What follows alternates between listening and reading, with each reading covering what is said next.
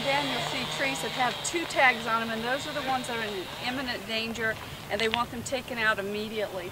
And those are the ones that the contractors are taking out right now. They've already photographed the trees with the two tags on them. They'll take them down, they'll put the tag back on it, the number, they'll put a B on it, and then they record that because we have to keep a track of all the trees that are removed.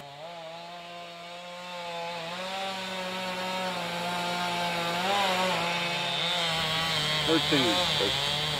Thirteen in diameter. Tree tree diameter is anywhere from eight to 21 inches in diameter. We were in this from here three spans. We were here all day. Yeah, because it was uh, 10, 20, 30. I think it was 42 trees that we took down. And uh, what makes it better now, the line is down, is a lot easier because if you had your three-phase line coming through here, then it would be have to watch where you fell your trees. We've got uh, quite a few contractors and Bluebonnet personnel here, and uh, we're staging all our our uh, equipment here and getting ma making game plans of how we need to go to each zone to see which are danger trees, which poles need to be changed out.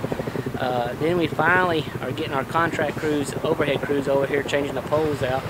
Uh, we're kind of at a hold in some certain areas due to the federal government restricting us from getting in certain areas till they, I guess, inspect the area and make sure there's no hot spots or that we're in danger. But uh, we're, we're trying to do our best and uh, trying to get around and uh, just get power restored as fast as we can to our members.